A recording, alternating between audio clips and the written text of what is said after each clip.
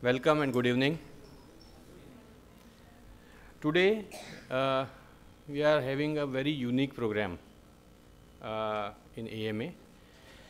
When we uh, talk about a person, Gandhi, and in Ahmedabad, everybody will be uh, thrilled to hear about him, to know about him, and today we are going to know something about him from a person who is not from Ahmedabad and not from India. So I think uh, uh, the uh, uh we say that uh, uh, he is a peace activist, but I would say that he is experimenting with truth.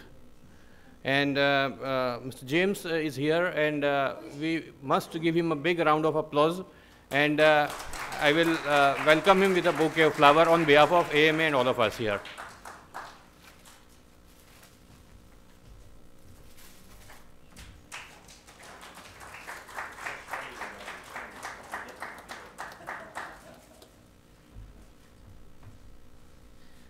In fact, uh, uh, we have uh, Dr. Anamik Shah with us. He is uh, the Vice Chancellor of Gujarat Vidyapith.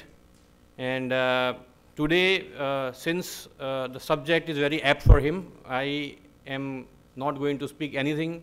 He is going to uh, introduce us uh, uh, and then we will go further. But definitely, I'll be very grateful because he has organized this and we also would like to welcome him with a bouquet of flowers.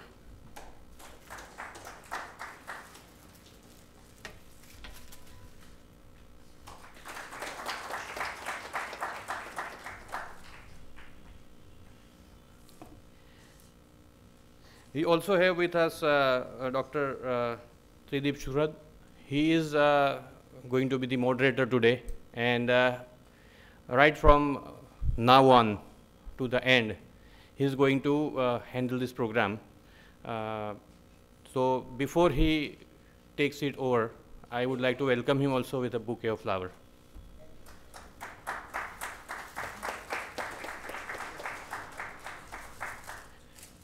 I think uh, uh, straight away we begin and we, uh, I invite Tridip Bhai to, or Anamik Sahab, you can start.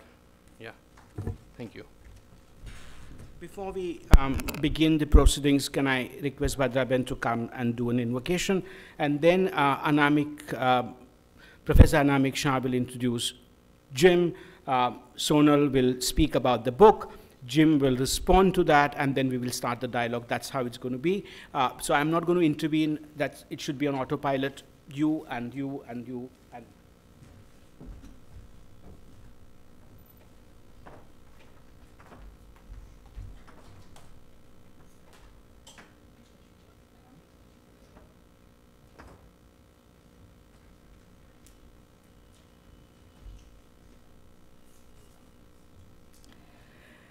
નારાયણભાઈનું એક ગાંધીનો જીવન મંત્ર. ગાંધી કથા માટે લખાયેલું એક ગીત.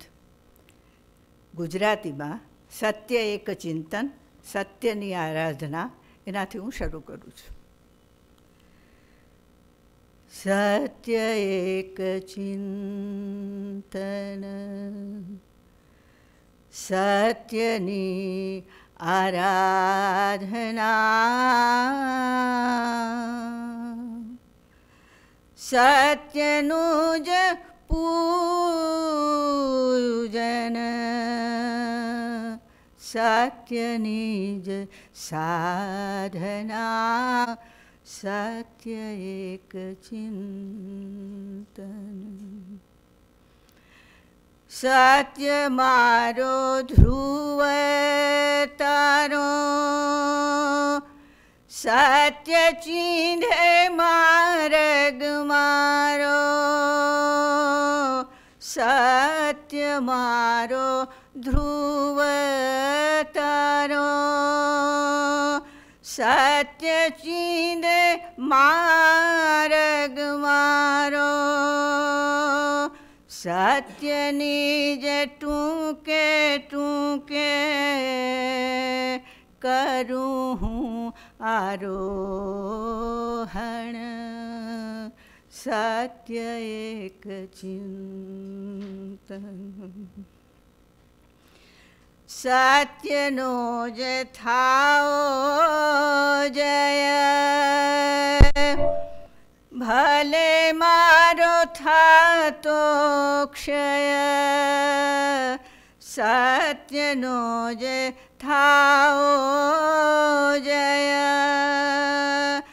भले मारो थाक्षय अल्पत्मानि मापवा सत्य गज खू ना सत्य एक चिंतन सत्य मारी भागीरथी सत्य मारी छे सत्य मारी भागीरथी। सत्य मारी छे कालिंदी सत्य सरस्वती नीरे करूँ हूँ निमजना सत्य एक चिंतन सत्यनी आराधना। આરાધના સત્ય એક ચિંતન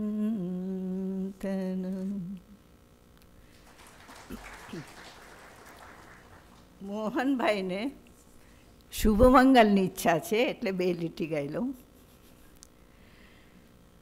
શુભ મંગલ હો શુભ મંગલ હો शुभ मंगल मंगल मंगल हो नभ मंगल धरती मंगल हो धरती का कण कण मंगल हो गति मंगल हो स्थिति मंगल हो जीवन का क्षण क्षण मंगल हो मति मंगल हो प्रीतिमङ्गल हो मानव की हर कृति मंगल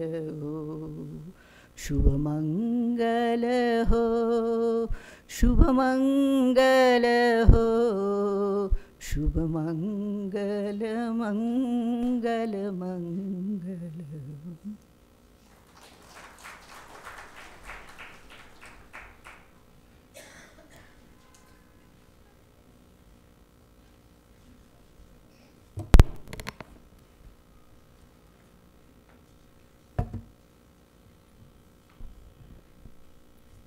Welcome all, especially today's speaker, uh, James Douglass, AMA President, Sonal Ben, and today's uh, moderator and prominent writer, uh, Pradeep Bhai.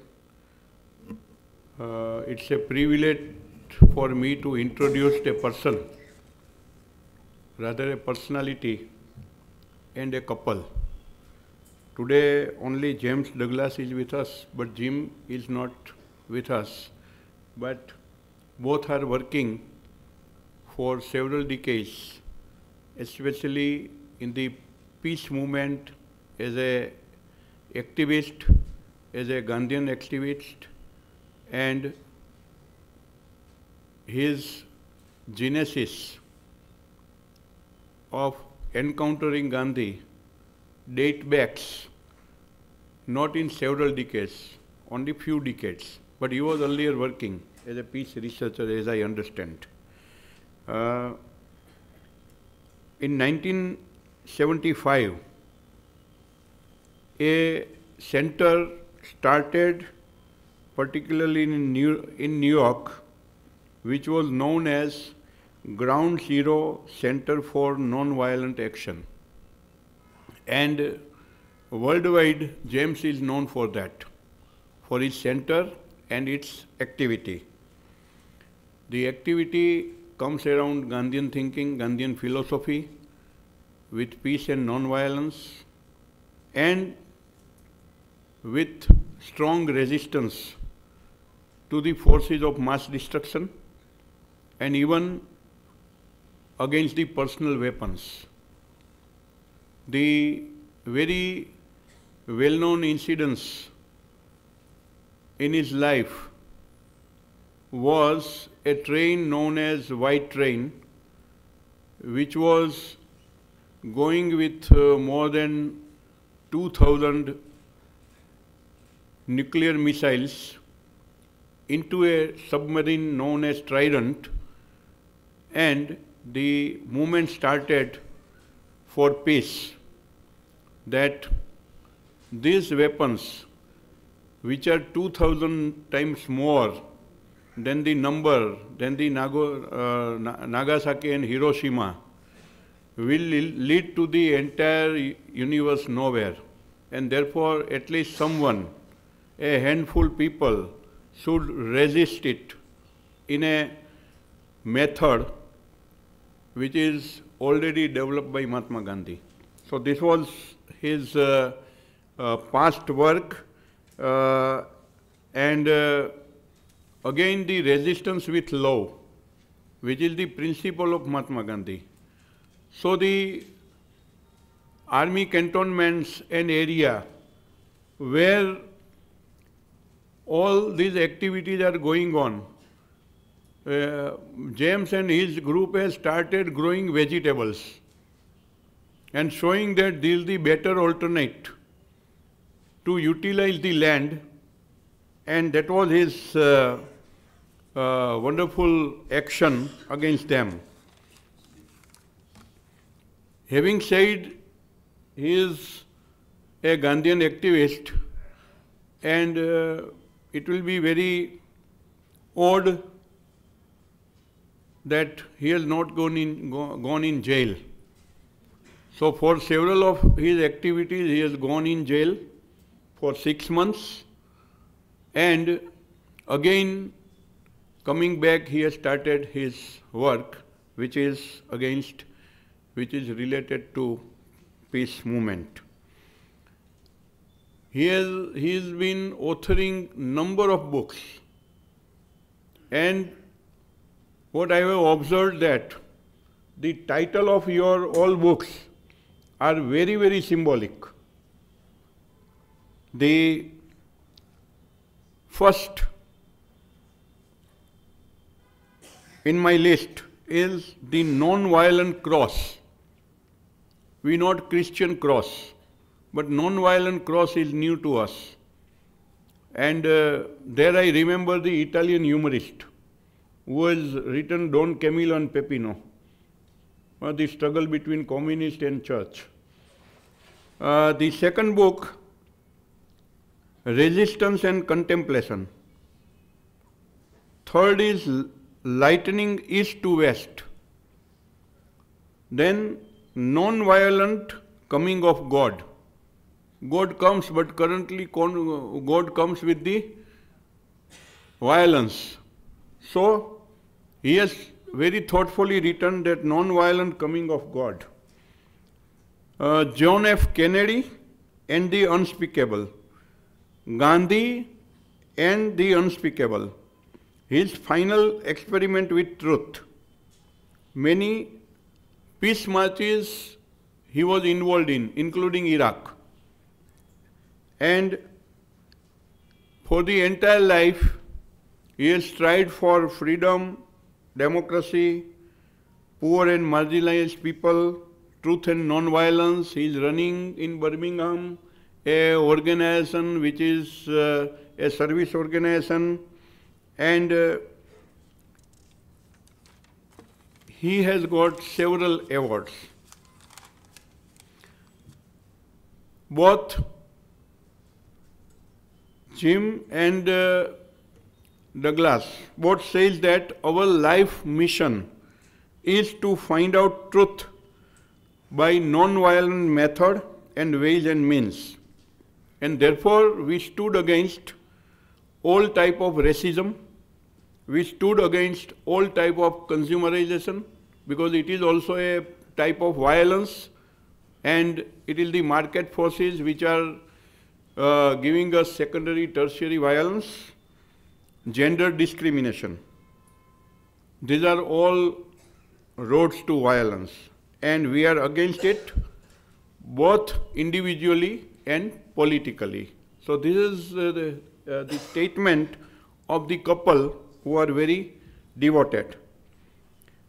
His book, Unspeakable Truth, on which we are going to hear, so I am not going to speak on that, but the younger generation and researchers who are in the field of research, either in history or in social science or in literature, they have to see that how meticulously the entire work of his each and every book is done. I think that for written, writing a small book, it's not very thick volume book, but only 200 pages book, he must have seen 800, more than 800 documents and especially several volumes, volumes of Kapur Commission, which was reinvestigate the assassination and uh, other uh, things involved of Mahatma Gandhi. He has also gone through the entire trial, volumes which are eight volumes, several hundred and thousand pages to write, to write this book in the right perspective. And therefore, we are very happy that when the days of post-truth is coming before us, we have a person who stood behind the truth and uh, with his deterrent uh, uh, commitment for the truth and history. So he has given several pages of history. Some of his findings we may not understand or we may not like or we may not agree also, but ultimately truth remains truth, whether you like it or not. You cannot alter the truth. And therefore, with this uh, introduction, uh, I'll take my place so that the further proceeding can be started. Thank you. Thank you.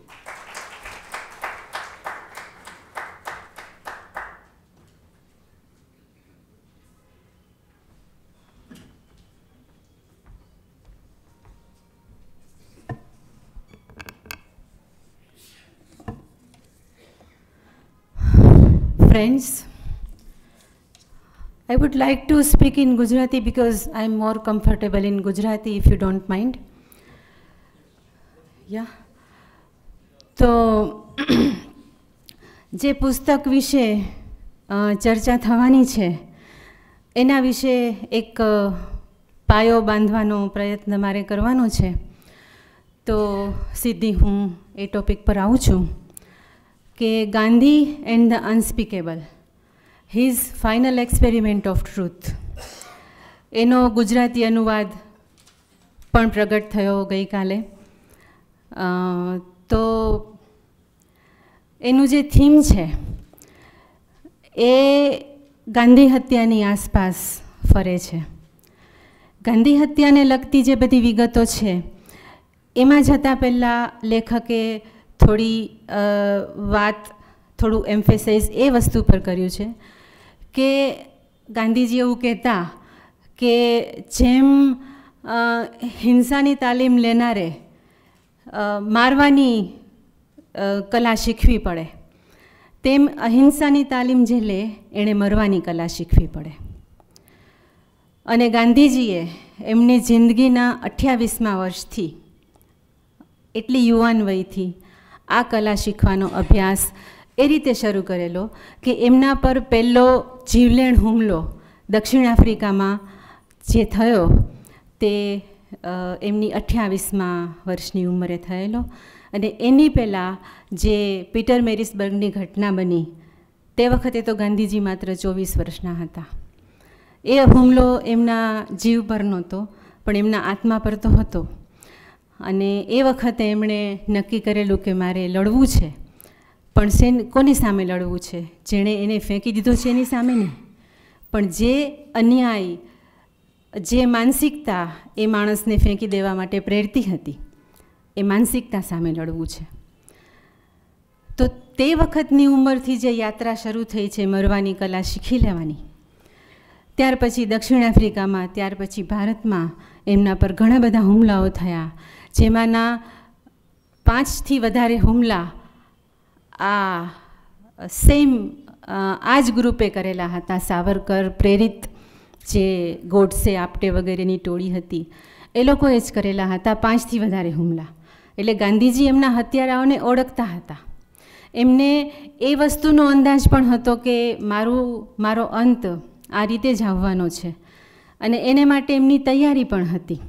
અને એમણે એમના મૃત્યુની આગલી રાત્રે કહેલું પણ ખરું કે જો હું કોઈ મને ગોળી મારે અને જો હું એને સામી છાતીએ ઝીલું અને હત્યારાને ક્ષમા કરું અને હત્યારા પ્રત્યેના મારા મનમાં ક્ષમાના ભાવ સાથે ભગવાનનું નામ લેતો લેતો જો હું મરું, તો જ હું મહાત્મા કહેવાવાને લાયક છું. તો સત્યનો અંતિમ પ્રયોગ જે પોતે ગોળી ખાઈને કર્યો ગાંધીજીએ સફળતાથી. એમના પક્ષે તો આખી સફળતા જ સફળતા હતી. એમનું મૃત્યુ તો જે રીતે વિનુબાએ કહ્યું કે જે રીતે એમના જેવા મહામાનવનું થવું જોઈએ એ રીતે જ થયું. પણ એમના મૃત્યુની સાથે આગળ પાછળ જે સંજોગો કામ કરતા હતા, જે માણસો કામ કરતા હતા, જે પરિબળો દેખાતા હતા, જે પરિબળો નહોતા દેખાતા, એ બધાની બહુ જ ડિટેલમાં વાત ચીમભાઈએ ખૂબ સંશોધન સાથે અને ખૂબ જેને કહીએ કે ચોકસાઈ સાથે કરી છે.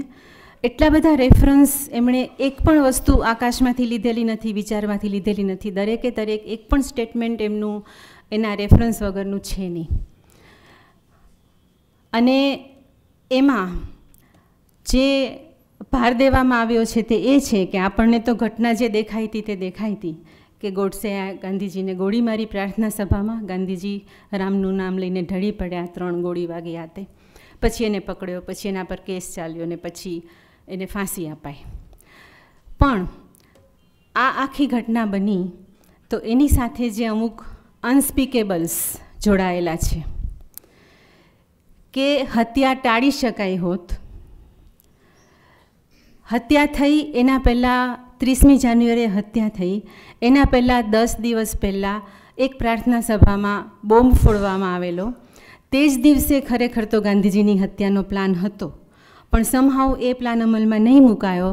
બોમ્બ ફોડનારો માણસ, જેને એક શરણાર્થી યુવાન હતો મદનલાલ પાવા એ પકડાયો. એનું જ્યારે પોલીસે બયાન લીધું, ત્યારે એણે કહ્યું કે આખો પ્લાન એણે કહ્યો કે આ લોકો છે એને સાચા નામની ખબર નહોતી, પણ એણે કહ્યું કે આટલા લોકો છે, અને એ લોકો આ પ્લાન કરતા હતા અને એ લોકો ફરી આવશે. ત્યાર પછી દસ દિવસ પછી હત્યા થઈ. આ દસ દિવસમાં જે થયું, એનો કડીબદ્ધ આલેખ પુસ્તકમાં અપાયેલો છે. દિલ્હીની પોલીસ, મુંબઈની પોલીસ, નવી નવી સ્વતંત્ર ભારતની નવી સરકાર, જે ગાંધીજીના જ પટ્ટ શિષ્યો વડે બનેલી હતી. દિલ્હીમાં મોરારજીભાઈ હતા ગૃહપ્રધાન દિલ્હીની મુંબઈમાં મુંબઈની પોલીસ હતી.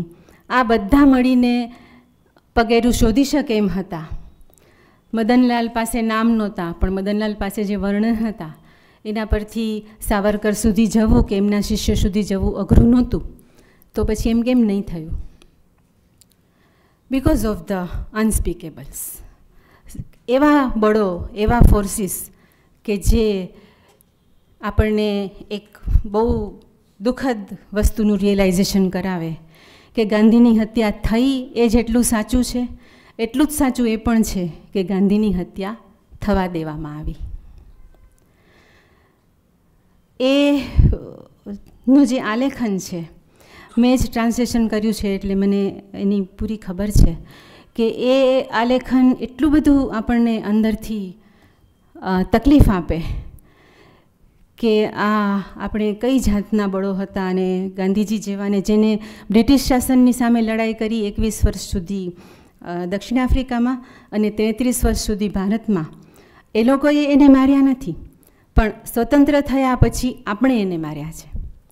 અને એટલું ઓછું હોય એમ ત્યાર પછી આજ સુધી એમના વિચારોની હત્યા એક કે બીજા પ્રકારે રોજે રોજ ચાલે છે. આપણે પોતે કરતા હોઈએ તો પણ થાય છે, અથવા આપણે થવા દેતા હોઈએ તો પણ થાય છે. અને આજે પણ કેટલા બધા અનસ્પીકેબલ ફોર્સિસ છે જેના વચ્ચે આપણે જીવી રહ્યા છીએ. એટલે લેખકની સાચી સિદ્ધિ મને એ પણ લાગે કે કડીબદ્ધ આલેખ આખી વસ્તુનો આપ્યા પછી એ વાચકને એ આખી ઘટનાની ઉપર લઈ જાય છે. કે અનસ્પીકેબલ્સ ફક્ત ગાંધીજીની હત્યા સાથે જોડાયેલા નથી. અનસ્પીકેબલ ફોર્સિસ હરેક સમયમાં હતા. આજે પણ છે. અને એની વચ્ચે આપણે કઈ રીતે કામ કરીએ છીએ? આપણે એને કઈ રીતે રિએક્ટ કરીએ છીએ? એના પર આપણા વર્તમાનનો ભવિષ્યનો બધાનો આધાર છે. તો મને લાગે છે કે આટલી ભૂમિકા પૂરતી છે. અને હવે જીમભાઈ સાથે આપણે વાતો કરીશું. Thank you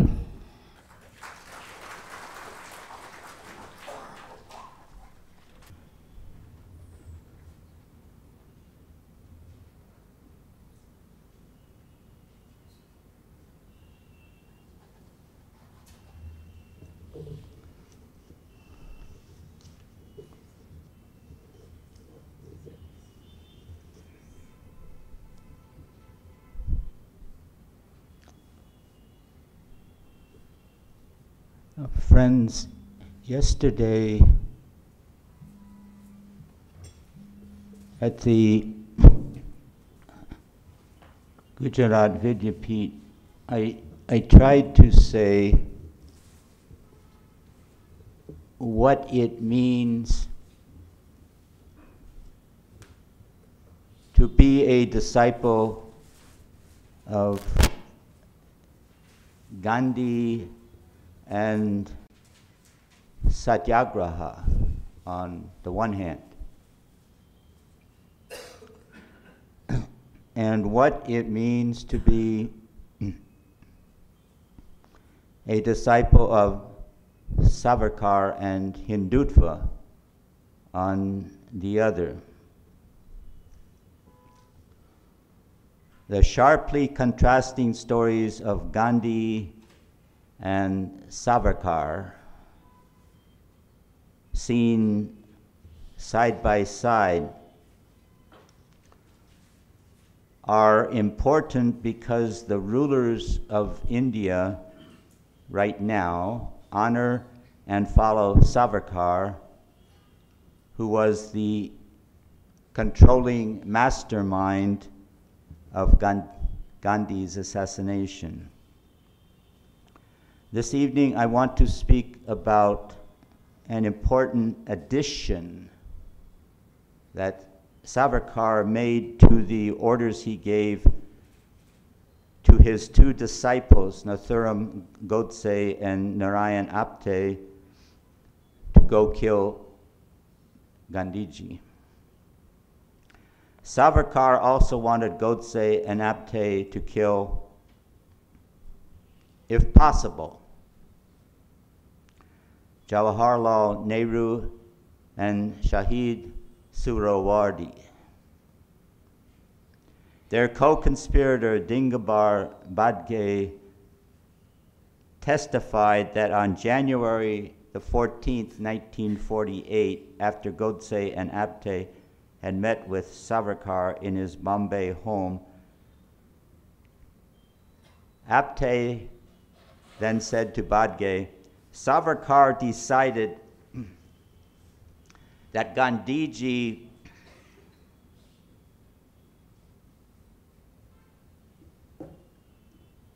Jawaharlal Nehru, and Suhrawardy should be finished. And Savarkar entrusted the work to us.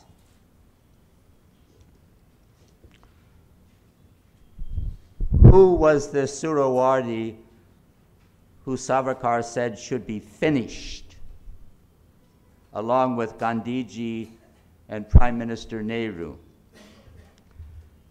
And why did Savarkar want to have Suhrawardy killed too? Shahid Suhrawardy was the Muslim League's chief minister of Bengal in 1946-47. Suhrawardy was notorious among Hindus for his government's complicity in the Great Calcutta killing of August 1946, when 4,000 people were killed and 11,000 injured in four terrible days of Muslim League direct action and Hindu retaliation. In the minds of Hindus, Shahid Suhrawardy was their arch enemy. He was identified as the man most responsible for the great Calcutta killing. Yet Gandhi insisted on the responsibility and the redemption of both sides. He excluded no one. He reached out to Suhrawardy, challenging but not condemning him. In their correspondence, Gandhi reminded Suhrawardy that he had once known him as a much younger man when Shahid was an aspiring satyagrahi struggling with a spinning wheel. On August 11, 1947, four days before Britain would grant India and Pakistan independence, Gandhi visited Calcutta. As Muslims fled India for Pakistan, Calcutta's remaining Muslims suffered Hindu retaliation for the previous year's Great Calcutta killing. Suhrawardy, whose term as chief minister was expiring, now pleaded with Gandhi to remain in Calcutta. Would he prolong his stay until real peace could be restored? Gandhi said, I will remain if you and I are prepared to live together. We shall have to work as long as every Hindu and Muslim in Calcutta does not safely return to the place where he was before. We shall continue in our effort until our last breath. Suhrawardy knew Gandhi was serious. He was being invited into a nonviolent fire. The consequences of his saying yes would be life changing. Gandhi told him, The old Suhrawardy will have to die. The next day, Shahid Suhrawardy did say yes. On August the 13th, Gandhi and Suhrawardy moved together into an old abandoned Muslim mansion in the Calcutta slum of Beliaghata. That first night, a crowd of angry young Hindu men broke doors and windows, pushed through the house, and surrounded Gandhi. They said they didn't want any of his sermons on ahimsa. They told him, Get out. Gandhi engaged them in dialogue. He asked, How can I, who am a Hindu by birth, a Hindu by creed, and a Hindu of Hindus in my way of living, be an enemy of Hindus?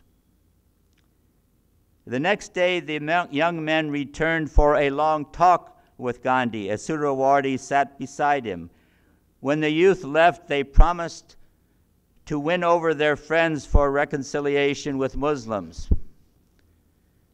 Gandhi had chosen the perfect companion for his Calcutta experiment with truth, the Hindu symbol of evil.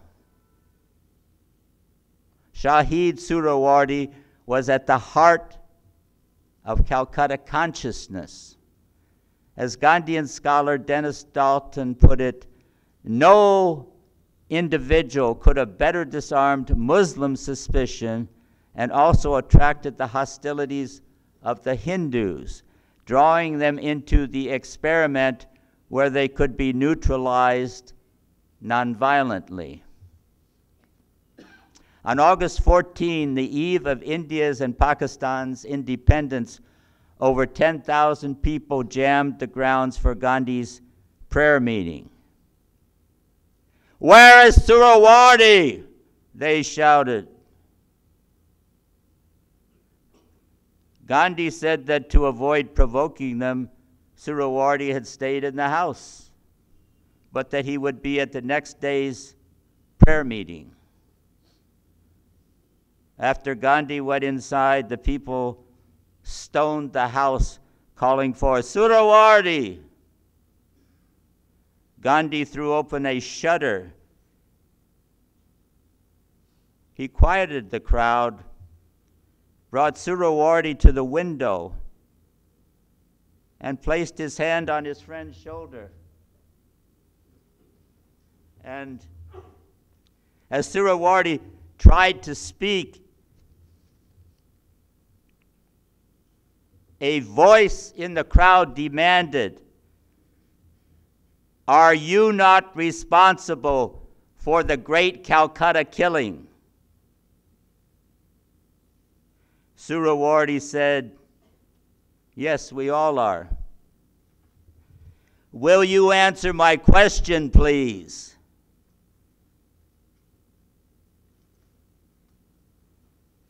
Yes, it was my responsibility.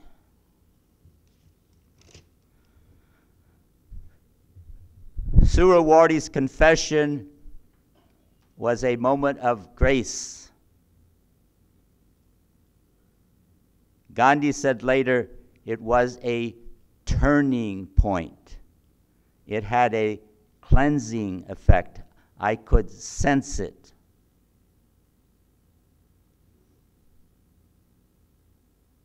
On August the 15th, Independence Day, crowds of Hindus and Muslims processed together through the streets of Calcutta. In their mutual celebration, they acted as if they had forgotten their battles. Gandhi doubted if they had, as he waited for the bubble to burst, what India was calling the miracle of Calcutta lasted for two and one half weeks. On the night of August 31, Calcutta's peace ended where it had begun in Gandhi's presence. A riotous crowd broke into the Beliaghata house, awakening Gandhi. Furious Hindus had carried in a bandaged man they claimed was the victim of Muslim violence. They wanted to put their hands on Suhrawardy, who happened to be away, to avenge their fellow Hindu. Gandhi got up from his sleeping mat. Restrained by anxious co workers, he tried to walk into the angry crowd as it demanded revenge on Suhrawardy. Gandhi cried out, What is all this? Kill me! Kill me, I say! Why don't you kill me? They almost did. Someone swung a lathi stick at him. It barely missed his head smashing against the wall. A brick aimed at him struck and hurt a friend. Gandhi said finally to the crowd, My God asks me, Where do you stand? I am deeply pained. Is this the reality of the peace that was established on August 15th?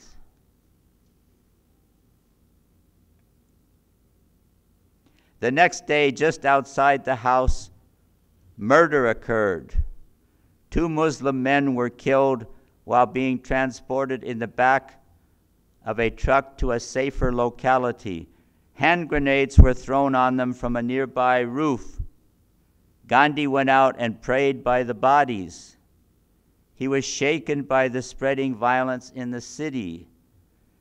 By nightfall, 50 had been killed and more than 300 injured.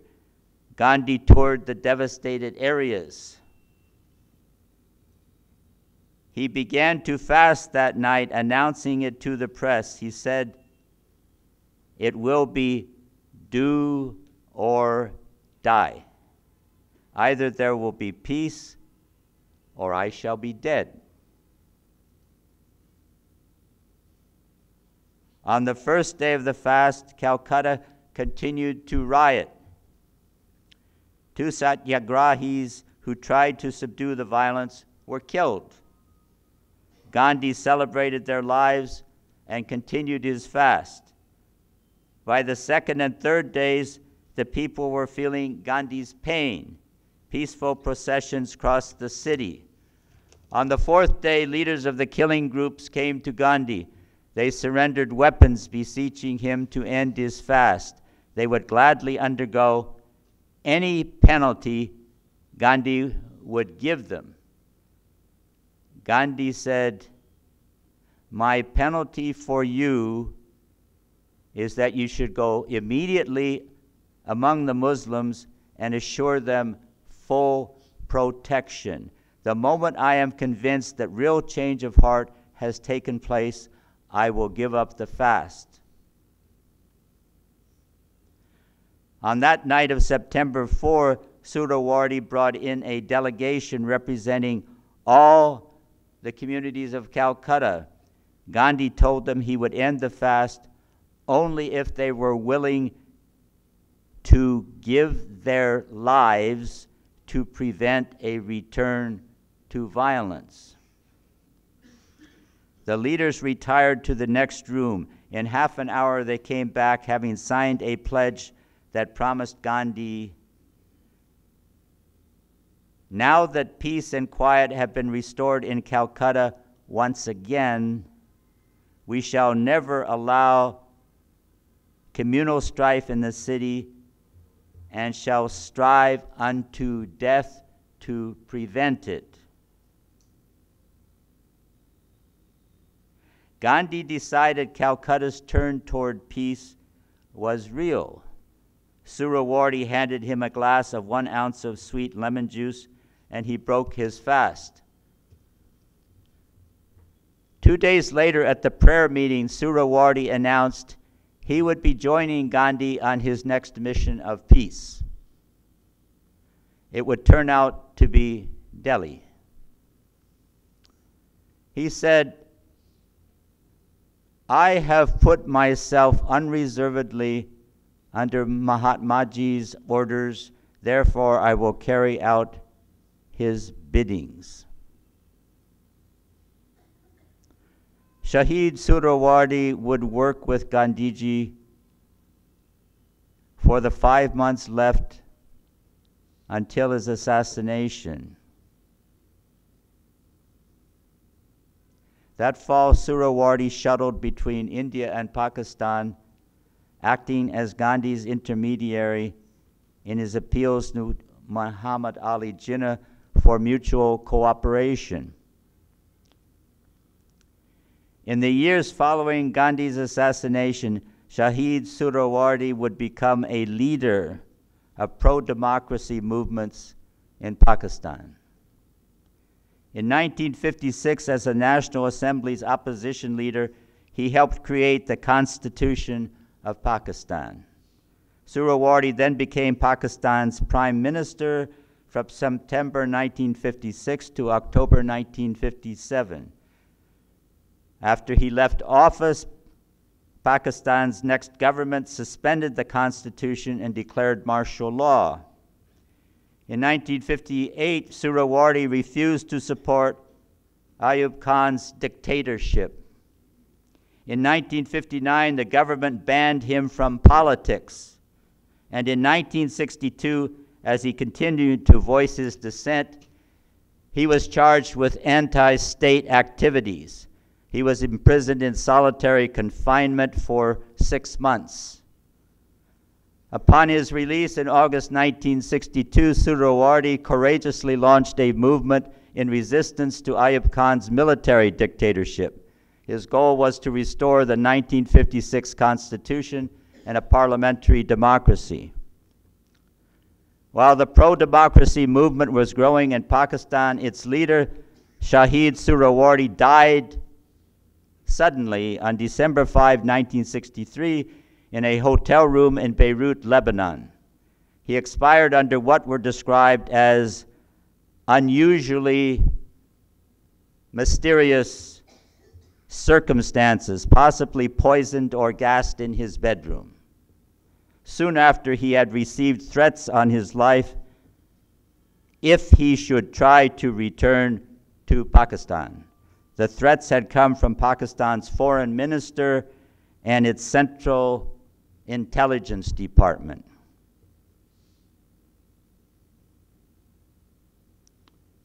Shahid Suhrawardy risked his life with Gandhi to save Calcutta from another massacre like the one he himself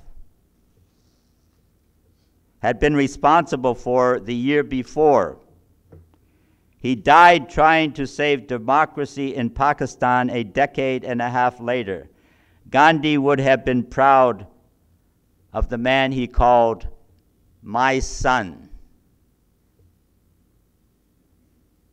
On his way to that luminous event, 15 years earlier, on January the 20th, 1948, Suhrawardy became, with his spiritual father Gandhi, a target for assassination in Delhi.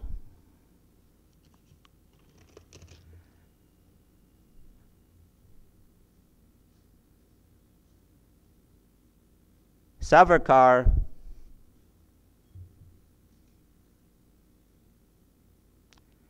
a man who hid behind his assassins had a genius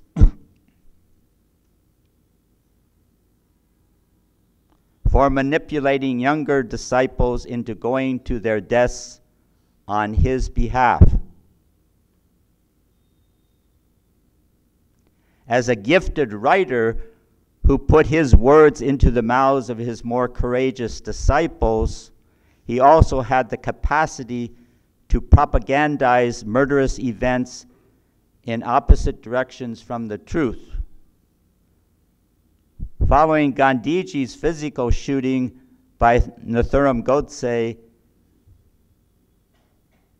Gandhi's character and history have been attacked and twisted out of recognition over and over again by Savarkar's Hindutva disciples.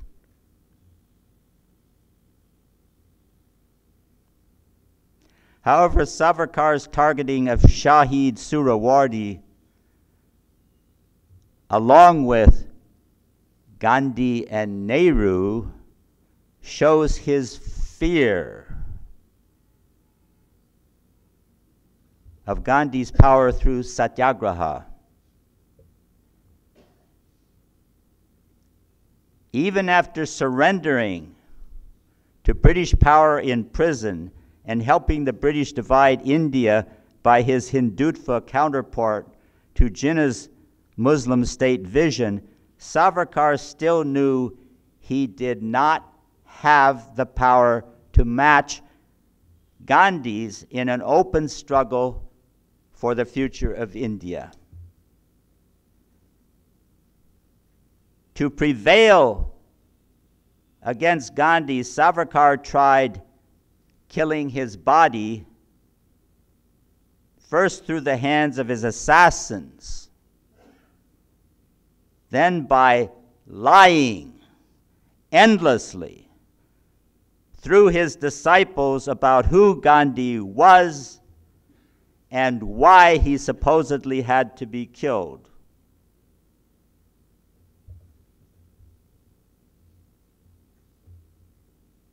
Savarkar's targeting of Shahid Suhrawardy, a witness to the ability of Gandhi's experiments with truth in Calcutta to transform a conflict and reconcile enemies, showed how much Savarkar feared Gandhi and his unlikely disciple.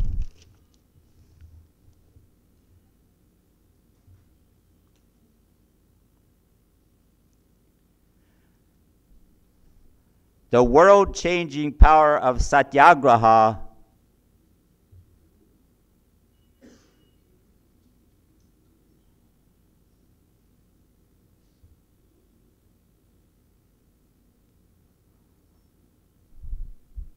on the moral arc of the universe is just waiting today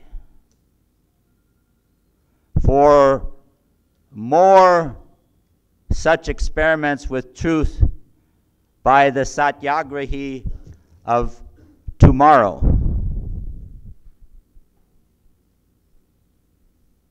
The story of Shahid Suhrawardy is a sign of the Satyagraha miracles still to come in our crucially hopeful time of non-violence or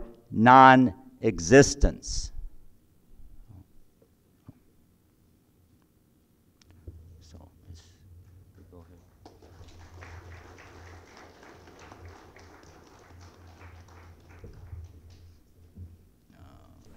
Yeah, um, James, before we open up, uh, um, needed to respond to about three or four large issues that you raise, and, and then uh, one could um, think of it. Um, I was very struck by two words that you used. Um, um, not the word unspeakable, to which I will come later, but the idea of it being a luminous evening. That, that evening was filled with light as Gandhi walked to his death, um, and the idea of it being filled with light, as also the idea of a moral arc, which seems to suggest, and I think that's really where uh, one would want to engage with you, about the not only about the act of killing and the act of dying, but what is the meaning of that death? Uh, because what we make of the meaning of that death uh, suggests the paths that we choose as societies, as cultures, uh, what we make of death and assassinations, uh, of, of, um, of trials. Um, and the two, two trials that you did not mention, uh, but it's there in your earlier work about the nonviolent cross, is of course the trial of Socrates, and uh, strangely a defamation trial against a man called Jesus Christ. Um, it, was, uh, it was a blasphemy trial. Um, um, which then leads to a certain kind of moral compass that which becomes available to us. So that's one set of questions about the meaning of death and how does society really create a set of meanings around an act of death. That's one. Second is the idea of the unspeakable itself. Um, is, it, is it something that um, we do not speak of because we do not have the words for it, or we do not speak of because we think that that idea does not have a hearing space. So is, it, is the unspeakable the unhearable? Is the unspeakable the unheard? Structurally unheard, because certain ideas do not have a space in every society. Every society, at every point in time, has a space for certain ideas and it pushes certain ideas to its margins. And, and, and, and so, uh, is the unspeakable really something that we do not wish to hear about? That's the second set of questions that I want your reflections on. The third set of questions is on the act of bearing witness. and as, as somebody um, who's trained in theology and philosophy, and, you know, sorry, I mean, um, you know, we have this idea that an activist is generally illiterate.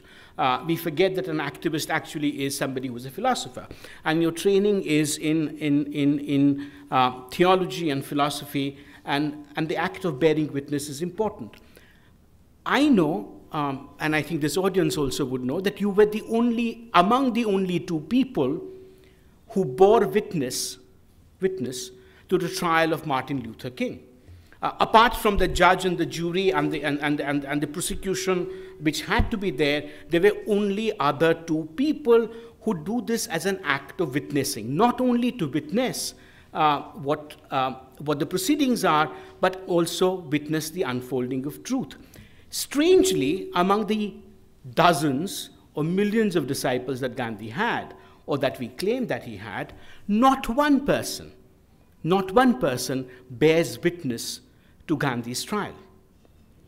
It's, it's a very strange thing uh, to, to, to, think about is this, this, what is this apathy that we have to not bearing witness? And because we know that the act of bearing witness is very important. Um, you know, Hannah Arendt would do something similar that you did in Jerusalem at Eichmann's trial sit through the entire trial and do philosophical reflections as to what is the nature of truth and untruth which unfolds. For Gandhi, we don't do that. Um, and it's, it's, I, I, it's always struck me as something very strange, um, the kind of apathy that we had to the act of bearing witness. That's, that. and the last question, and, and I don't want to preempt your conversation in Delhi with Ashish, uh, but I know where it's going to go. Um, and I think it's, it's good that we start it here. Um, Ashish, not very, um, and, and I'm not in a playful way, but in a very serious psychoanalytical way, uh, did say Gandhi co authored his assassination.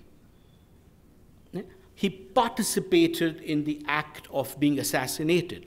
Um, and, and it, it, has immense lessons uh, uh, for the nature of the experiment, but as also the nature of how does one look at death? How does one will a death in a particular way?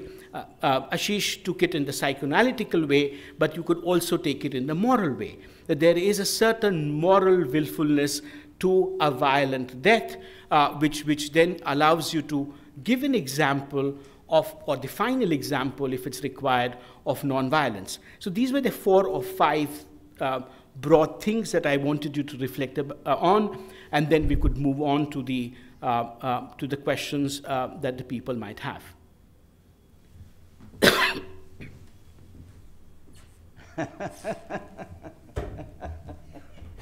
um, which one shall I write the first book about?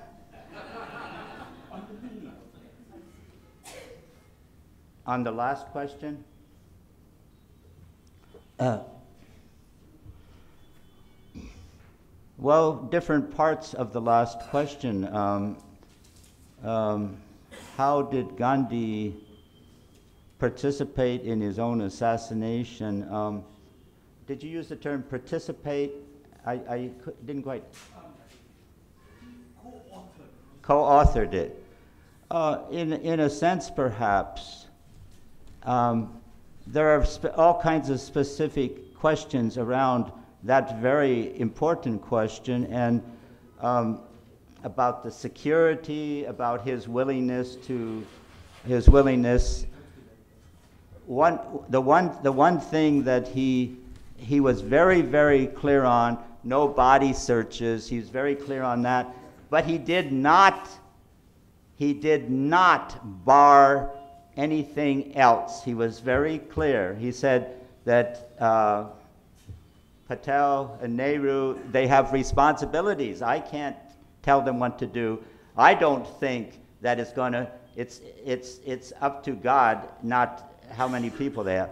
But that was not, um, you know, he didn't prevent any of that. And um, maybe just say one thing and then I, I, I think everybody should be participating.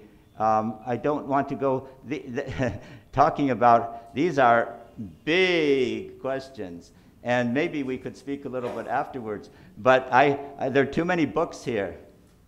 Uh, you have too much, too much for me. so, but the last one is perhaps the most important. Did he co author his assassination? Well, um, I, I, have read very carefully um, um, Ashis, his, his great article. is a very great article. Um, maybe put it this way um, one of the things that Gandhiji said numerous times during the last few days um, I want to go to Pakistan. So I'm going to kill myself and go to Pakistan? I don't think so. He had things he wanted to do as a continuation of his uh, experiments with truth. He can experiment with the truth of his death for another year and year and year and year and year, but the situation was preventing that. So uh, I don't think he, he wanted to die for, in, the, in, the in that sense. Thank you. Um, um, no, I didn't, I didn't expect you to, to, to, to answer all of those. Uh, we're going to take questions from the floor. Uh, if you've got sheets and if you want to write on them, please do so. If you want to speak, uh, or, or, you could write in any language, and I'll try and translate it for, uh, uh, um, for, for James and James's response if necessary. James, the first question is uh, from uh, Mahadev Vidrohi, uh, um, and, and he, he's pointing out to the fact that um, the Hindu Mahasabha, as you spoke of, uh, it continues to be a very powerful political organization, uh, continues to, to uh, which, which the Hindu Mahasabha uh, continues to be a powerful political organization yes. Yes. and has much greater legitimacy today than it probably had in Gandhi's time. Um, and, and there are attempts to celebrate Gandhi's assassin, um, creating uh, shrines to him, attempts to put up his statues, uh, um, attempts to name localities after him. So the question really is, uh, do you think they're becoming more powerful, or are the killers There's, alive today? Are there too many echoes? Uh, uh, I can't quite get all the words. Do I think there's a lot of echoes. Uh, do you think that Gandhi's killers are alive today? that his what is alive today? Killers are oh, alive killers. today.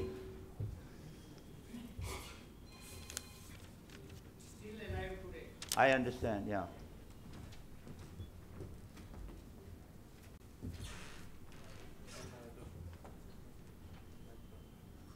Uh, yes. I think his killers are alive today. Um, in, in a worse way than they were alive when they uh, shot him on uh, January 30, 1948. I think the second assassination of Gandhiji is worse than killing his body. I think that attacking and attacking and attacking and lying and lying and lying about who he was and what satyagraha was and what he did is worse than going bang, bang, bang into his body. Yes, his killers are still alive today. That's a, I really appreciate that question. I think about it all the time. Yeah. More alive. Um, there's a question um, about the veracity of the events or the veracity of the narration that you gave. Uh, historical veracity. Of course, of um, course, of um, course. it says these are mere historic events. Uh, what is the veracity of, of what you said or, or, or of the events? Um, I mean, basically saying, where are your bloody footnotes?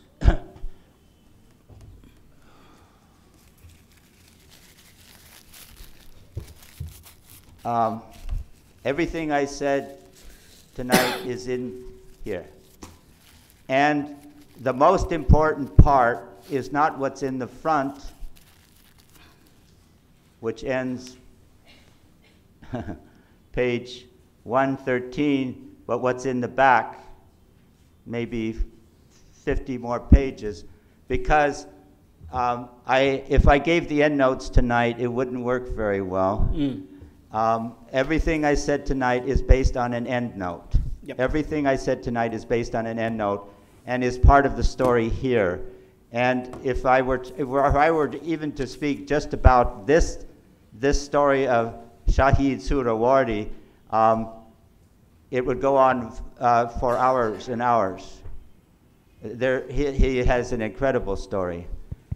And uh, the endnotes, that is a great question. Where did you get all this? Where did it come from? It's all back here, is where it came from. And some of what the stuff that, some of the parts that are in the back are more important than the parts in the front, but they didn't fit into the story. And the story has to move. I know today that unless you can tell everything in 10 seconds, everybody loses attention, or supposedly. So I, I'm not a really good storyteller, but I do the best I can, and I don't want anybody to stop. Because Gandhiji didn't stop, and his killers didn't stop. So I, what I'm trying to do is I have to rewrite. I'm not a good writer, confession. I have to rewrite everything hundreds of times. So that's the first part, but the up, back part is run, going to the Library of Congress and um, speaking with Arun and Tushar Gandhi and finding out about the particular witness and so forth and so on. That is an excellent question. Where did this all come from? You say all these things. It's, uh, it may not be right. Um, all I can do is try. Experiments with truth. We, we all try and we go more deeply into it, and you say, No, good. That's what they said to Gandhiji, and then we, we work with it. This, this is a beginning. And, and, and just to supplement that information, I mean, anybody who's interested and looking at the original documents of the entire trial, including the first information report filed, um, all of those records are now available at the archives of the Sabarmati Ashram. Uh, um, an entire set is available for people to consult. So it's not, it's not, it's, I'm, I'm trying to say that it's not a f- figment of your imagination that Gandhi was killed. Um, um, and then actually a trial did take place, and, and, and we but do I have. Think, I, I think that, that it's very, very important. Uh, uh, the Kapur Commission, Yeah. um, the Kapur Commission, Yeah. which, which uh, was already mentioned. And I, I, I learned very, very much from the Kapur Commission. It's not like the Warren Commission. No, it's not. and, you know, and I don't know, I mean, um, you know, last year, year before last, um, a very interesting case came up before the Supreme Court of India, uh, almost like the Ken- Kennedy assassination, saying that there was a fourth bullet. Right? And since no autopsy was done, um, the real assassin who fired that fourth fatal bullet is still at large, or, or that we don't really know the nature of the conspiracy. Unfortunately, the Supreme Court didn't take it very seriously. I mean, they should have opened it up, and we would have had great fun all over again. Um, but um, no, but I think that's that's it- it's it's it's interesting how these things come up 60 years, 70 years later uh, in a completely different kind of a political culture to say, um, could we re examine the possibility of these not being the killers, but somebody else being a killer? And, and, and that would have been a very interesting thing. The Supreme Court, unfortunately, uh, shut it down. Uh, there, is, uh, there is a question uh, uh, on, on uh, what he called Shaheed Suhrawardy's. Uh, the word Shaheed is not in the sense of the martyrdom, right? It is Shaheed is the name that he has. So I think I've just clarified that on his behalf. Um, there And is I, should clarify too, I've been trying to learn all day how to say that, the, the word, the names of, of my main character. I'm Yeah. not very good. Thank you. Shaheed Suhrawardy. Trying. There is, um, um, there is, um, th- there is a, um, there is a poser to you uh, saying Veer Savarkar, not just Vinayak Damodar Savarkar, but Veer Savarkar, Yes. the brave one, uh, the courageous one, was a freedom fighter, um, a- and it is understandable why he was plotting assassination of a senior freedom fighter, Mahatma Gandhi. So th- there is, the question really is that it's a legitimate act of, it, it, it, it is something that can be understood. Um, and and, and the, the answer of that should be obvious to you.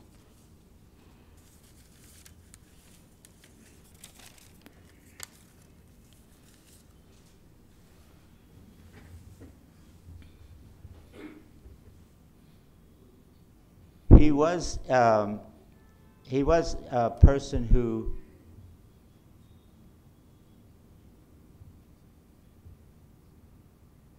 I'm talking about Savarkar. He was a person who had a a very distinct experience that I have never had. I've been in jail a few times, but I have never remotely experienced, I think, maybe a little remotely, what Savarkar experienced in the cellular jail in Port Blair in the Andaman Islands. And I think that um, that needs to be considered very, very carefully in evaluating his life, which I certainly um, am not capable of doing. I, um, he he did uh, ask clemency of the British um, again and again and again. he did receive clemency from the British.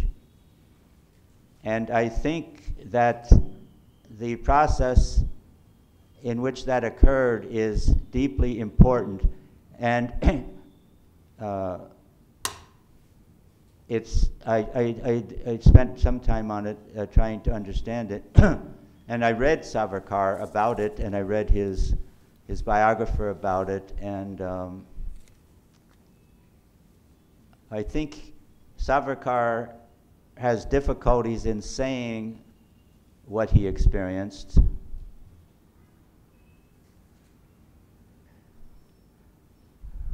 So do we all. And I,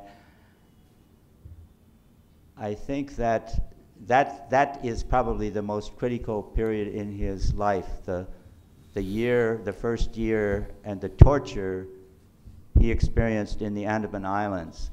And I wouldn't want to say what I would do coming out of that, or what anyone else would want to do. It's like being in a war. Um, it was a war. And the British were very, very good, uh, good, um, effective, and they were very effective with regard to Savarkar. I don't think Savarkar, Savarkar in, the, in terms of this little bits of, bit of presentation is only a part of a much larger story. And in a sense, what Gandhi is saying um, about all these, these different assassinations, there are a number of assassinations in here because Savarkar was involved in them. In each one, Gandhi says the real um, the real question is where, where is this coming from? Where is the idea?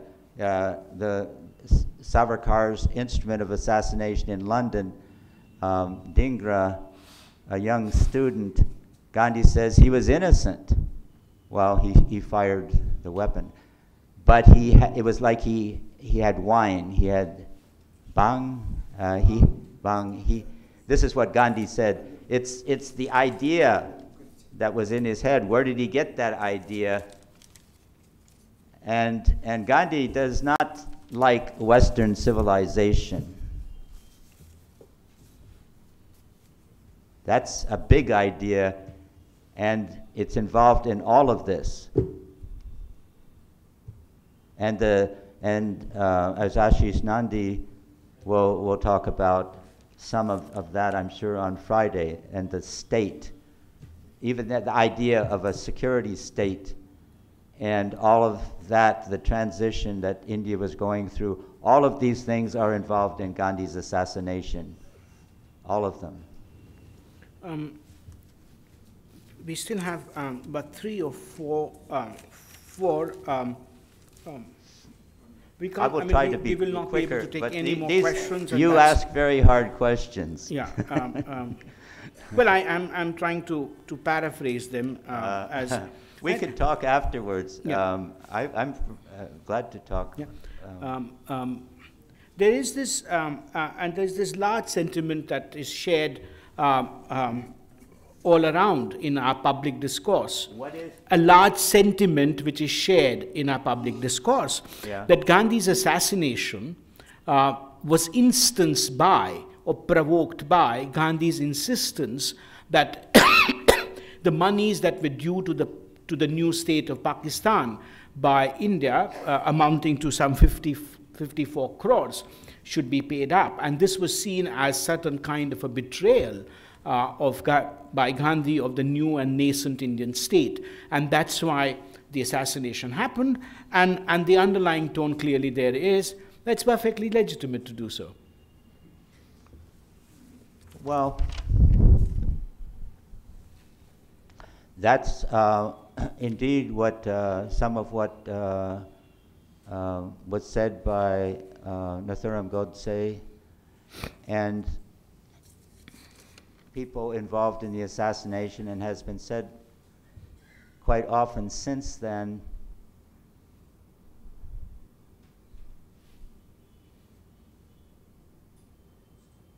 It's hard to read it that way if one goes into the history of the depth to which the involvement of various parties in trying to kill Gandhi um, and the period of time involved in the case of Savarkar goes back to 1909. I think um, that particular issue is um, a red herring, if we say in the United States. It's uh, you, you, you confuse matters. Um, Gandhi, of course, was was fasting in a week or two before he was uh, assassinated, and they, were, they tried to kill him twice. This is very, very key. We haven't. Uh, perhaps you, you, you probably went. Perhaps you said something about this. She did, she did, she did. Yeah, but between the 20th and the 30th, all of these, the chronology is very, very important. And the, uh, the question of being just with regard to Pakistan and the issue of Kashmir, um, and they're using the money perhaps in the, um, in the war. All of this is, I think, these are important questions, but I think they get thrown into it as if this has something to do with um, the people who have decided to kill him at such and such and such a point, actually long before any of that came up. So I think it's a red, a red herring Yep. um, kind of Yeah. thing. Yeah. Thank you. Um, th- then there is this question about the nature of the experiment itself. Yes. Um, and if you, I'm, I'm, it's a long question, I'm just paraphrasing it. It's a broad experiment about collective nonviolence. Yes. Um, and clearly, for the questioner, the experiment of collective nonviolence failed both in Gandhi's lifetime Yes. and, and certainly thereafter. So, would you say that it's, it's an experiment which either failed or it's an experiment in futility?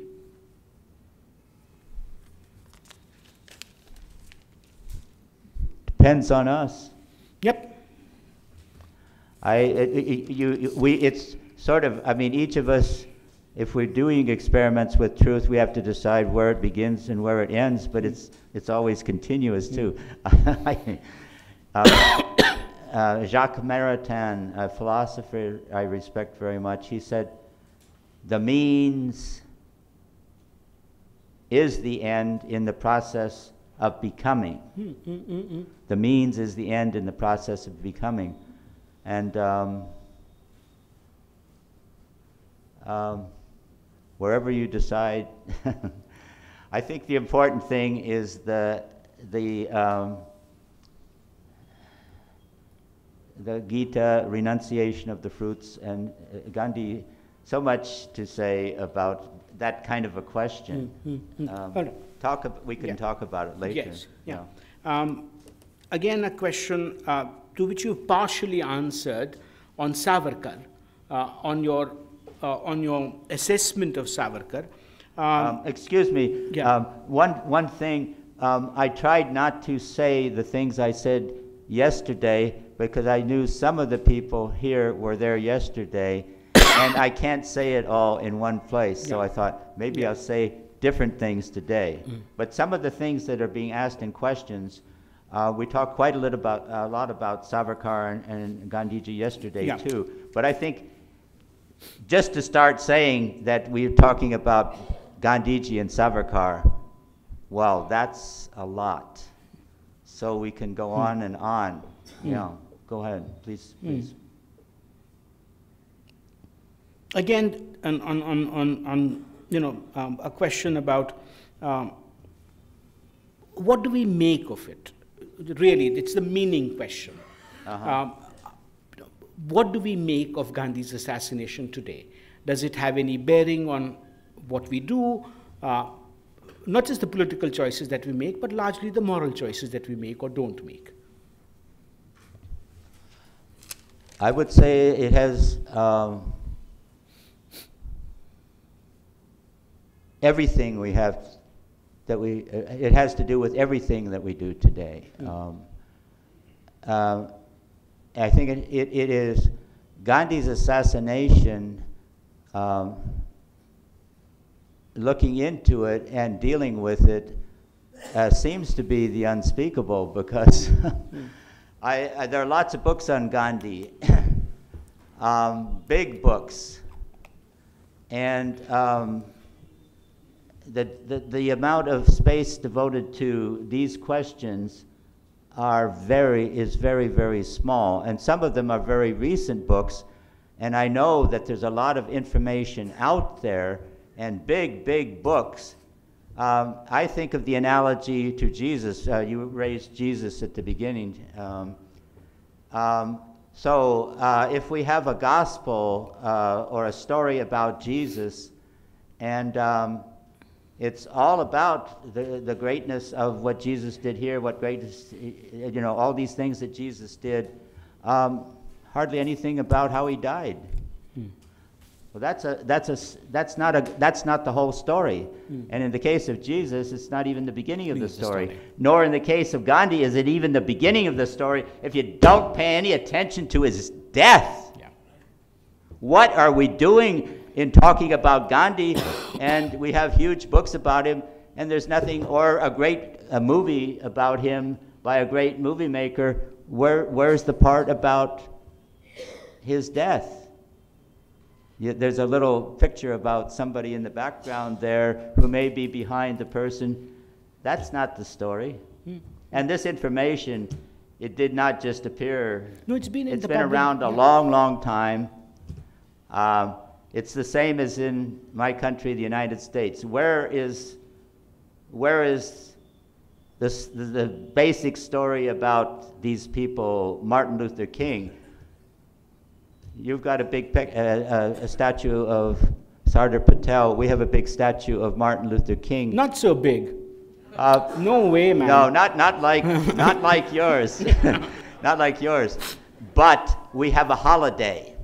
Ah, Ah, so do we. have a holiday. We have a holiday, January 15th. How many people get holidays in the history of the United States who are, he's not even a president, Martin Luther King, he got a holiday.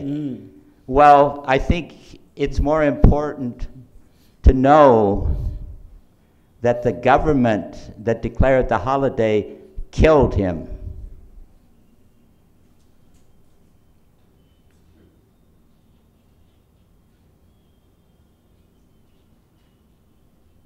That's not said on the holiday.